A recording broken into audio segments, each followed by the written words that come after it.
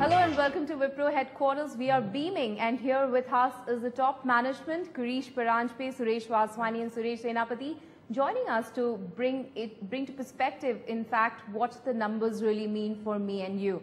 Well, to start with you, Suresh Senapaty, um, muted results, would you say? I mean, margins, bottom line is under pressure. Well, I think uh, based on what we had uh, guided and based on the uh, various uh, impacts that we saw in the last quarter, I think it is pretty reasonable in terms of uh, the revenues that we got. Because if you look at the guidance that we had given, it was clearly within the particular range that we have given. And the growth has been pretty decent coming from varieties of verticals, including some of those verticals which were not doing well in the past have got out. The best has been the 6.6% volume growth.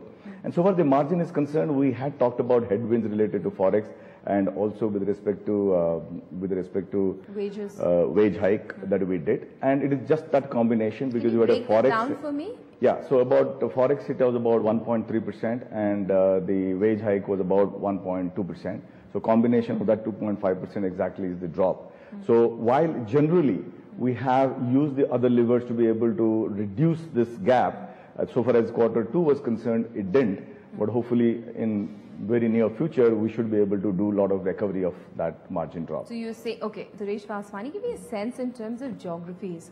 Um, you know, Americas have been a cause of worry, especially in the media. You know, there have been so many reports. Europe's been, you know, austerity measures being talked about. Overall, you know, geography-wise, I mean, is it a stable boat or are there pockets that worries? I think I would say uh, from a, from a services uh, business perspective, it is, uh, I would say, fairly a stable boat, the way you put it. And if you look at the, our performance, uh, I think Europe has led growth with a double-digit sequential growth. Uh, our Asia Pac business again has been double-digit uh, sequential growth, so it has it has really done well. And US uh, and uh, India and Middle East have grown. US has grown roughly three percent sequential, and India and Middle East has come up with a five percent plus sequential growth. So all in all, you know, one is seeing growth right across. That's your favorite bet, isn't it, India, Middle East? When you talk about that, I can see the broad smile. No, no, I, when I talk about the US, you should see a broader smile, or Europe, you should see a broader smile. But I would say, I think uh, our markets are, uh, our mature markets are really US and Europe, and we are seeing good growth there. Uh, India, Middle East, emerging markets has been an area that we've invested in continuously. And, uh, you know, we're, we're, we're beginning to see significant markets here. We're beginning to see a fairly complex project execution happening here.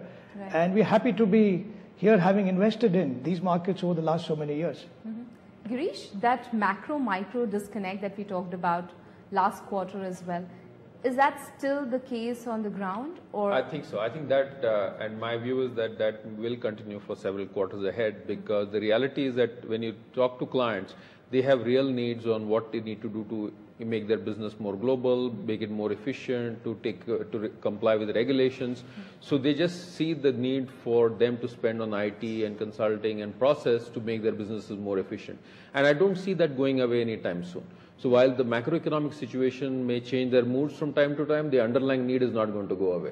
So as long as the underlying need is there, they'll respond to it, and we are there to help them respond to it in the best possible way. And I think that's that's the good news that the micro remains very strong, very stable, and driven by real need.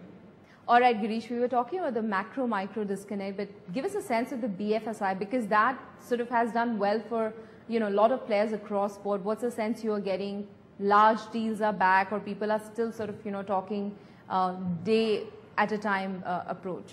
No, I think uh, uh BFSI revenues have been strong and the demand continues to be good.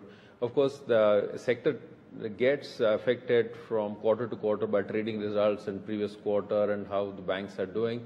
But uh, because the spend levels and their dependence on IT is so strong that over time it corrects itself. So I'm pretty optimistic about uh, the spends in the BFSI sector. But I think what I also want to record is that the good news that we have seen is a recovery in all the sectors that we have traditionally been worried about, the like telecom and mm-hmm. engineering. Mm. So engineering has had a fantastic sequential growth, almost 15% sequential in the engineering side, and telecom has grown 7%.